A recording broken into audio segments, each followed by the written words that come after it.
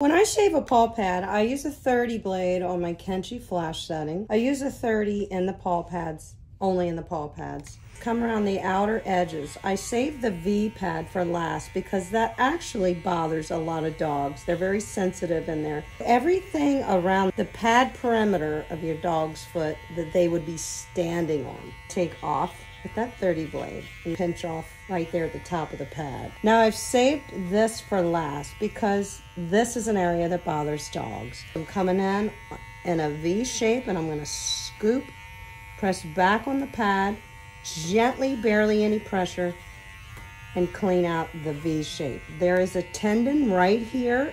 All dogs have it. You don't wanna come at that pad like this. V shape. We're not gonna get things stuck and no little mat stuck in the dog's paw. Champion, yeah!